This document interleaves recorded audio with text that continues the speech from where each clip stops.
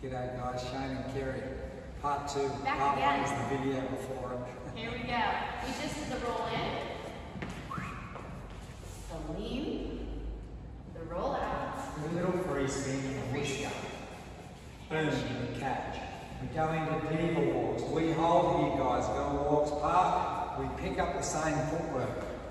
Send them out, rock back, cross the body, catch, and an inside roll. and we could start again from the beginning. Start again from the beginning. Yeah. Let's do that from this side as well so they can see it walking away. Perfect. So we got the handshake position. We're going to do the diva walks. Be careful that we're not allowing those arms to go behind the body. We're keeping those arms out to the sides of us so that we're not going for the shoulders at ribs. Same thing for the for the free spin to our ending, where we could do anything or start again. Yeah. Keep up the good practice and don't